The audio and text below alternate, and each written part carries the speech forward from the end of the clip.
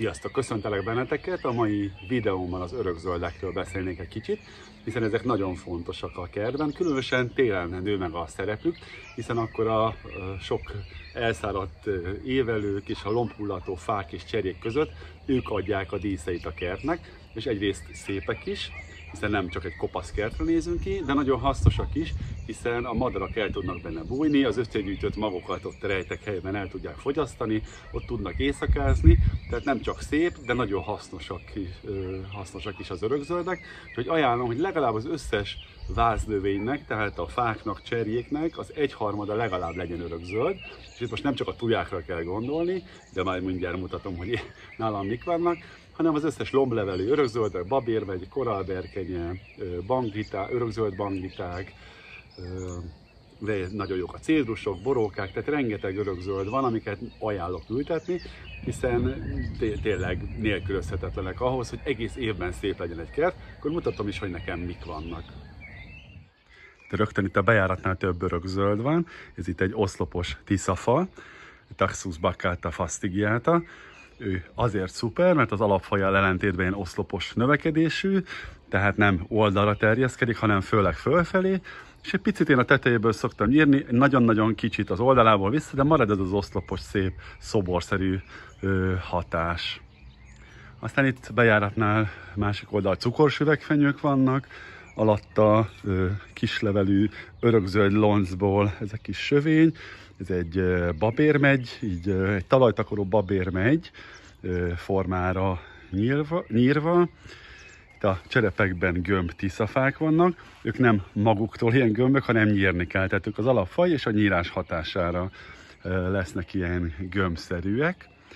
Itt rögtön van két törpefenyő, de itt is nagyon fontos azért, hogy milyen törpefenyőt választotok, hiszen a nagy méretű törpefenyőkhöz, nagy méretű fenyőkhöz képest ők ugyan törpék, de a sima Pinus mugo törpefenyő akár 3-4 méter is lehet azért az évek alatt. Persze itt is lehet remekül metszeni, tehát itt is, ha nekem már nagyon benő az útra, bizony ö, lemetszem, de ilyet is nyugodtan lehet csinálni, most itt van az a hosszú friss hajtás, és ezt így metszólóval szépen ö, levágni, sokkal jobban elágazik, tehát is látszik a tavalyi meccés, tehát nem csak egy hosszú ágat hoz, hanem bizony elágaznak a fenyők, tehát sokkal sűrűbb lesz, úgyhogy nem kell félni, bátra lehet a fenyőket is metszeni. Aztán itt folytatva a utat a kert felé, itt egy szép ezüst törpefenyő van, is egy estő, úgy 7-8 év alatt nőtt meg ekkorára, tehát olyan, olyan egy négyzetméternyi területet befedett, itt nyáron szinte észrevehetetlen, de télen azért nagyon szép. Itt mögötte egy ozmantus van, egy illatcserje, az ilexre magyarra nagyon hasonlít a levele, egy tarkalelő fajtája, nagyon szép kis színfolt, úgyhogy bátran ajánlom ültetni kertekbe. Itt mögötte egy cédrus van, és itt már egy koralberkenye magasodik fölfelé, de az még lesz a kertben több is. Aztán itt, ami még örök zöld, van itt egy mandula fenyő. Őt is nyírom, tehát alapból sokkal nagyobb lenne ez a gömbje, de azért, hogy ne vegye el a kilátást, ezért megszoktam őt is metszeni bizony, tehát bátra lehet ezt is. Tehát a magasságából itt bizony ilyen magassági ágvágóval vissza veszek, ettől nem pusztul el, sőt több ága lesz, sűrűbb lesz, úgyhogy bátra lehet metszeni. Aztán itt mögötte van egy túj applikáta, egy óriás tuja, de a smaragd tujákkal ellentétben még, még elég jól bírja a, a magyar klímát, a borokoszú bogár sem támadja meg annyira. Most ugye a jócskán megmetszettem, mert itt már nagyon összenőttek, de ezt is remekül bírja ő is, tehát bátra lehet ezt is ültetni.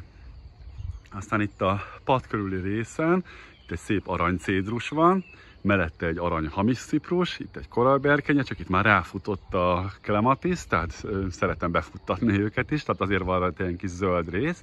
de a koralberkenyének a dísz ez a kis friss piros hajtás, ez az arany hamis ciprusnál pedig ez az aranyló sárga szín, hát a cédrus az pedig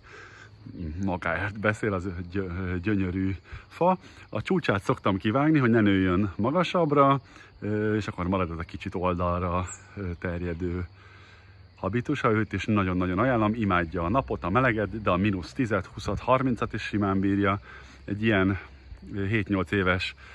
példány, az már teljesen szárazságtűre, hosszabb egy-két hónapos asszályt is remekül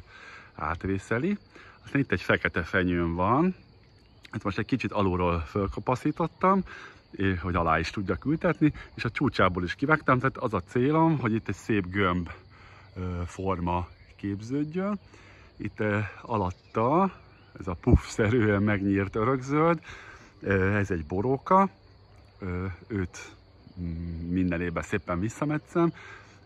Itt hátul is vannak törpefenyők, cédrusok, babérok megmetszve, tehát ezeket mindet ajánlom ültetni, ezeket a lombos örökzöldeket is, különösen a babérmegyet,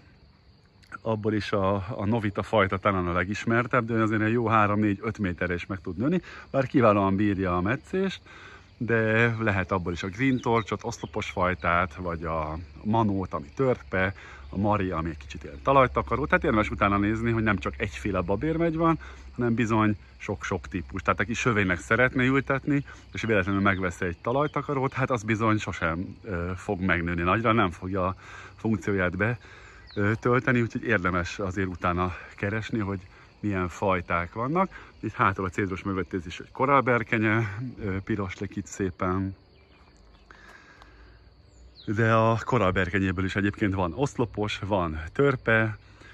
van, ami jó nagyra megnő, tehát ilyen 3-4-5 méterre, tehát érdemes azért utána olvasni, hogy melyik fajta mekkorána nő meg. Itt vissza jövök, mert itt van egy vörös fenyő. Ugye a vörös fenyő az egyetlen lombhullató fenyőnk, szépen, ugye egész szélen kopasz, és ilyenkor szépen kihajt, ugye ez a dísze, ez a ö, kis apró, sok-sok kis tűlevél egy rügyből kihajtva, illetve hát ez nem az alapfaj, hanem ez a puli nevű fajta, látszik hogy mint egy puli kutya, kicsit ilyen csüngő, ilyen keszekusz, tehát ez az alap vörös fenyő, az egy nagy-nagy fenyő lenne, de az a lényeg, hogy, hogy az érdekessége, hogy tényleg ezek a, az egyetlen lombhullató fenyők Magyarországon. Itt is ez egy gömbre nyírt babérmegy, tehát ez csak a nyírás miatt ilyen, nem magától lesz örökzöld. De itt is gömb, hamiszciprusok, gömbtuják, tehát jócskán van azért örökzöld, tehát az összes váznövényemnek tényleg legalább az egyharmada örökzöld. Amit még nagyon szeretek, itt is egy törpefenyő, egy Pinus mugo mukhus, ha jól emlékszem, törzsesen nevelve, és ebbe a cserébe tökéletesen el van. De itt is egy kis törpefenyő, ezt is szoktam itt metszeni. Ez a kis sövényem, ez egy fagyal sövény, egy Ligustrum vulgár vagy Ligusrum ovalifolium, nem tudom pontosan, és a varégát a tarka levelő fajtája. Itt egy örökzöld magnólia, van már ő, ugye a messzes talajt annyira nem szereti, de azért elég jól elhanít, virágozgat nyáron, hát nem nőtt óriásit, de azért, azért elviseli ezt a messzes talajt is. Aztán itt egy szerblucom, növegedőt is metszem, itt egy gömb hamis ciprus van, őt is most jócskán megmetszettem, már, már eléggé megnőtt, de ez nagyon hamar kiheveri, és szép új friss hajtásokat hoz, és akkor még szebb lesz. Itt a kapunál is két oszlopos tiszafa van, ezek adják a bejáratnál, ezek őrzik a bejáratot. Aztán itt az olaszos résznél gömb hamis ciprusok vannak szintén, illetve hát gömbre nyírt hamis ciprusok ezek nem maguktól élnek, hanem ugye törzsös lehet nevelve, és egy évben egyszer vagy kétszer így formára nyírom őket. Hát itt is a koralberkenye látszik, a babér megy, mögötte a cédrus, itt is habisciprus, tehát bőven, bőven lehet válogatni azért az örökzöldek közül is, és tényleg ajánlom is, amit, mint amit a bevezetőben is mondtam, hogy télen a madaraknak egy kis rejtekhely, alvóhely, védelem a ragadozók elől, de, de nyáron is nagyon fontos szerepük van. Úgyhogy kihagyhatatlanok a kertből, de az sem jó, ha túl sok van, tehát aki csak örökzöldeket ültet, az, az egy kicsit unalmas lesz, hogy egész évben egyforma az az ágyás, minden, minden egyforma színű, úgyhogy én azért ajánlom, hogy jócska legyen köztük lombhullató, virágzó, színes lombú, akár itt ez a japán juhal is ugye milyen gyönyörű, a friss hajtásaival. Tehát az, éve, az örökzöldek tökéletesek, nagyon jók, jó vázat adnak, de ne csak azokkal legyen a kertbe ültetve. Hát ezek vannak nálam, de természetesen még ezen kívül rengeteg egyéb örökzöld van, akár tényleg az örökzöld bangita, bár elől van, nekem is elfelejtettem megmutatni, de jók a kecskerágók is, talajtakaró kecskerágók is, de vannak egészen nagyobbra növők is. Tehát minden, minden ilyen tökéletes, és, és érdemes ezt betartani, hogy legalább az egyharmada a kertnek legyen örökzöld, és akkor elkerülhető, hogy télen nagyon kopasz lesz, ilyenkor pedig hát tényleg gyönyörű hátteret adnak a tavaszi virágzóaknak. De bármit kihagytam, nyugodtan kérdezzetek, és igyekszem válaszolni rá, és akkor jó örökzöld ültetést.